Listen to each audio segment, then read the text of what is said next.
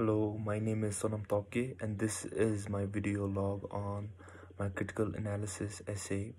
So my topic is on the public policy and the patent policy trade-off based on Singapore. Before I begin on how I wrote my essay and where I found the relevant data and information from, I'm gonna share on what is patent policy and public policy trade-off. Patent protection is for enhanced main goal of patent protection is to enable inventors to profit from their inventions. And it gives an incentive for the inventors to work which will promote research and development. But this creates a problem this creates a problem because first of all it creates may create a monopolistic institution. So something like um, in terms of, of health if one creates a vaccine or a medicine and one has a patent for that medicine and so that medicine may be available from only one firm due to the patent protection other firms will not be able to provide it making a very monopolistic institution. Next all members of the public general public may not be able to have access to the invention or in terms of health or certain medicines or vaccines which uh, puts them at an at a disadvantage in order to find the information on my country which was Singapore I used one paper research paper which had almost all information on the healthcare system in Singapore and I used data from the Ministry of Health of Singapore. And in terms of the patent and public trade-off I used two papers which are all given in my reference. Thank you. Started my essay. I read um, i read the four research papers and uh, i skimmed and scanned the four papers as reading the entire articles would consume a lot of time. So i searched for my relevant topics and um, and i summarized them based on my understanding on the paper. To look for any other papers since the paper that I found had everything starting from the problems to the solutions and the government interventions and the uh, results brought by the interventions in that single paper. In terms of the topic certain topics like behavioral economics i used the help of chatgpt to first of all explain what the theories might be.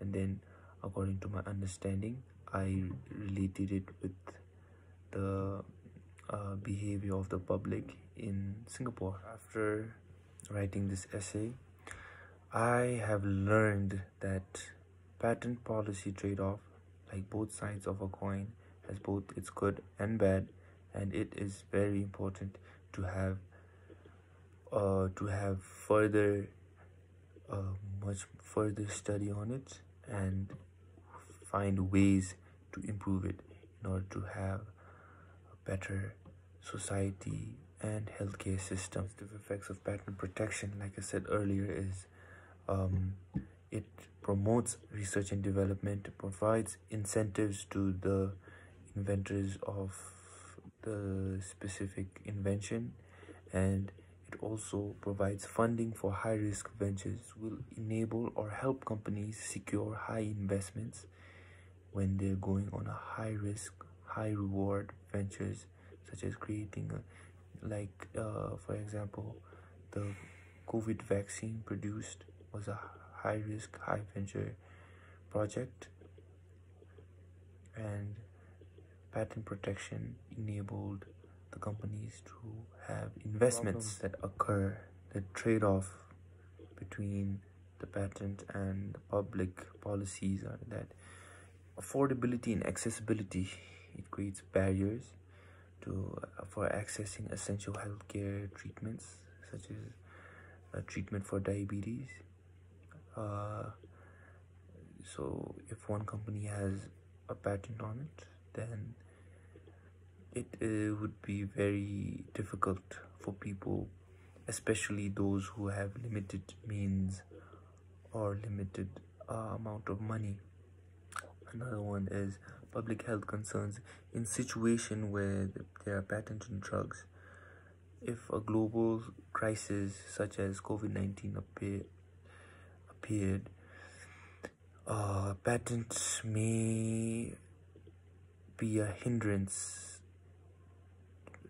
to the public health as it will not be efficient. It will take time delay or limit access so harming the general public. In order to mitigate some of the problems there can be compulsory licensing such as the government can intervene and uh, they can provide compulsory licensing which will allow other companies to form or make or produce generic forms of that specific invention or medicine if we are talking in terms of healthcare system intervene and implement price ceilings or regulations in order to prevent price hikes. Another one can be an alternative form of funding models. So it does not have to be patent. There can be government grants philanthropic funding donations in order to um, in order to help the inventing process of new medicine. Partnerships can also be used to fund the new ventures uh, reducing dependency on the patent need for patents. So this is what i learned from writing my critical analysis essay so in terms of bhutan although the healthcare system is pretty much free right now patents can play a role in helping the Bhutanese healthcare system to improve such as the inventions of new medicine can be promoted through patent protection. But of course there is trade-off but personally for me i believe that patent protection will promote research and development especially in terms of the healthcare system in bhutan. Thank you